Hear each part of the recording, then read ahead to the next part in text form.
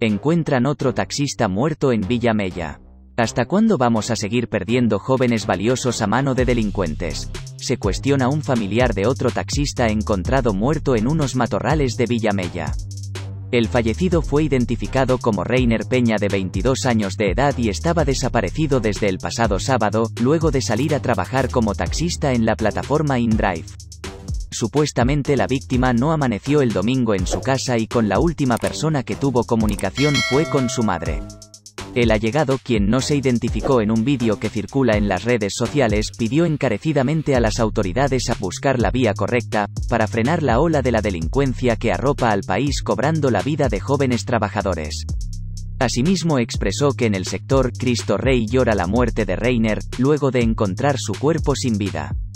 La muerte de este otro joven se produce justo en medio de otra tragedia ocurrida en la provincia Puerto Plata donde fue hallado muerto en unos matorrales un taxista de 21 años luego de abordar a dos hombres en Santiago quienes lo raptaron, lo despojaron de su vehículo y su teléfono celular.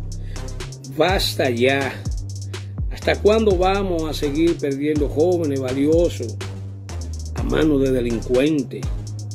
Hoy Cristo Rey llora la muerte de Rainer Peña, desaparecido desde el sábado y encontrado hoy sin vida en unos matorrales de Villamella.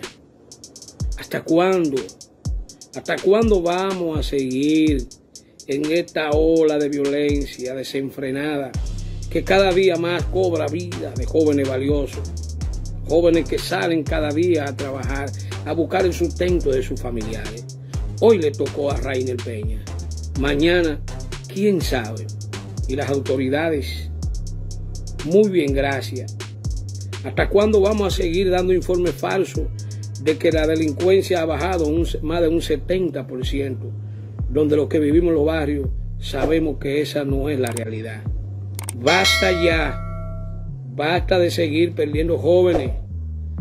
Hacemos un llamado encarecidamente a nuestras autoridades para que de una u otra manera busquen la solución, busquen la vía de que se paren esta ola de crímenes. Hoy le tocó a Reina, mañana, quién sabe, basta ya.